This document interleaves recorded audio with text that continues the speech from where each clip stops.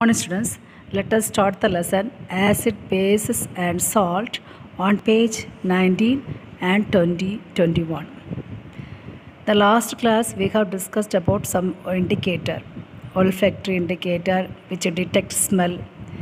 Okay, uh, if smell is present, if smell is retained, then we can say the given substance is acid. If the smell is vanished, that means vanilla, onion, this whole extract you can take.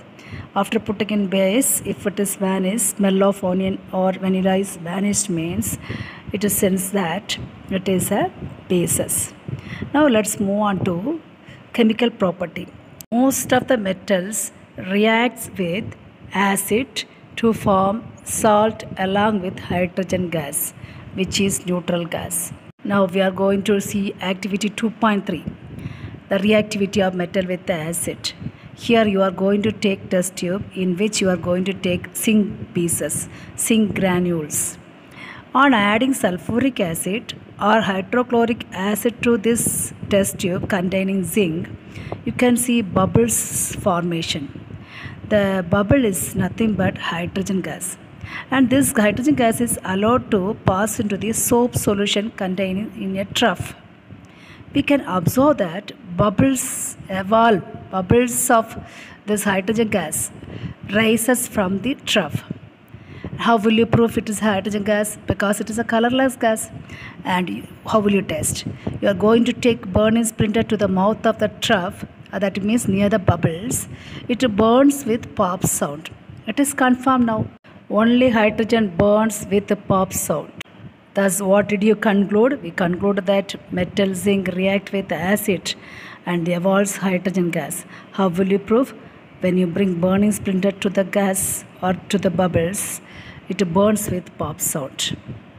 If you do the same activity by replacing hydrochloric acid with acetic acid, it also produces hydrogen gas because acetic acid is an acid. When it reacts with the metal like zinc, it liberates hydrogen gas along with the salt.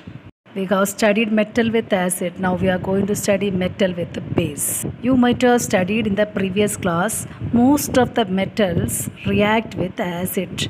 Very few metal don't react with acid like silver, gold, platinum, etc. But in case of base, very few metal react with the base like zinc, aluminium and lead. These metals react with the base to form salt and hydrogen gas. Look at this equation. Zinc metal Zn react with the alkali base NaOH to form sodium zincate.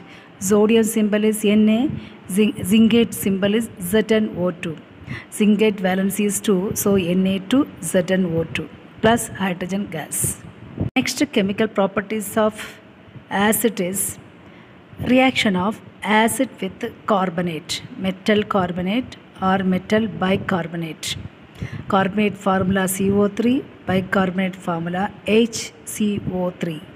When any acid react with the carbonate or bicarbonate, we will get three products. One is salt, water and other one is carbon dioxide gas. In 2.5 activity, we are going to do this metal reaction with the carbonate salt. Here the salt is Na2CO3, sodium carbonate and the acid is hydrochloric acid. On reacting, I told you carbonate with acid, three product you would get. Uh, one, first one is salt. How do you get salt? Hydrogen place, you write the metal. Here metal is sodium. So hydrogen will be replaced by sodium metal. Accordingly, you will get sodium chloride salt and water and carbon dioxide gas. How will you prove that it is a carbon dioxide gas? Two ways you can prove it. First method, bring the burning splinter to the gas. The burning splinter, the fire will be put off. The fire will be extinguished. It shows that carbon dioxide gas is evolving from this reaction. Second test for carbon dioxide is you bring lime water. Lime water formula is calcium hydroxide CaOH twice. When you collect this gas, evolved gas to the lime water solution, the lime water change into milky color because of reaction of lime water with the carbon dioxide you got the new product calcium carbonate and OH liberate water you know Understand? These two ways you can test the evolution of carbon dioxide from this carbonate with acid. Now the question is how will you prepare bicarbonate or hydrogen carbonate salt? You know salt should have one metal, isn't it? Now we are going to prepare calcium bicarbonate. How will you prepare? From three product. Calcium salt, calcium carbonate and water and carbon dioxide. On adding these three products you would get calcium bicarbonate salt. If you are on, if you want to get magnesium bicarbonate, you got to take magnesium carbonate salt. Understand? Then water, then carbon dioxide. Like this three product on adding, we would get what salt? Bicarbonate salt that is HCO3. The formula of limestone is CaCO3. The same way chalk formula also CaCO3 and also marble formula is also CaCO3. So these three are different forms of calcium carbonate. So three formula, all the three is having the same formula. Limestone, chalk and marble. The formula is CaCO3. The next chemical reaction is reaction of acid with base. You all are familiar with this equation. What is the name of the reaction? The reaction of acid and base is called neutralization reaction. What are the two products you would get? Salt and water. If you want to prepare sodium chloride by neutralization method, you take sodium base NaOH and a chloride acid hydrochloric acid. Suppose you want to prepare magnesium sulfate from this neutralization method, then you are going to take which base? Magnesium base, magnesium hydroxide, and which is acid? Sulfate, sulfuric acid.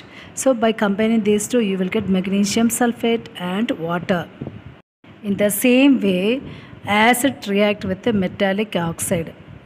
Metallic oxide is a base, so you will get salt and water. Acid with the metallic oxide forms salt and water. For example, magnesium oxide plus HCl, you will get magnesium chloride plus water. It is also kind of neutralization reaction.